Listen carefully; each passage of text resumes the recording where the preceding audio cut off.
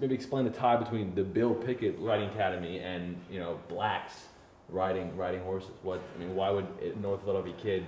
Why should he understand that that blacks have a long history with with uh, riding horses? Okay. Uh, when my kids were very young, like Lance, he was about 12 years old.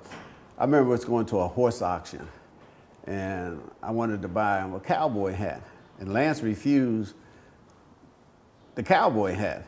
He said, Dad, because all that doing is imitating a white man. You know, he was just 12 years old. Then that's when I realized that uh, he didn't know, understand the history of the black cowboys, the black west, and the contributions that African Americans played in it. So that's when I start uh, getting material and stuff together so, you know, that my kids could read so they can get a true understanding. We're not imitating anyone.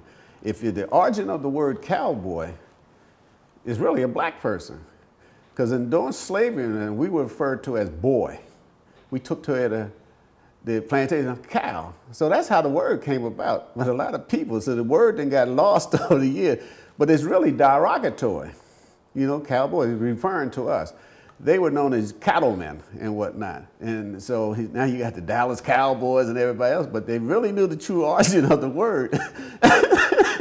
lost some John Wayne films. yeah, yeah, yeah. So now everybody wants to be a cowboy, you know. And um, so there's a there's a there's a there's a history there. If you really get into the history of the West, and we call it the Black West, it was the blacks who settled the West. You know, including the Buffalo Soldiers. They're the ones who fought the Indians. You know, they never played that.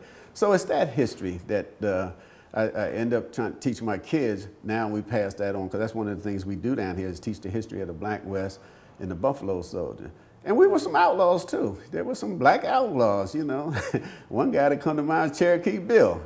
They hung him at 21 years old. He was, uh, he was, uh, he was part Native American, he was then Afro American. At 21, they hung him.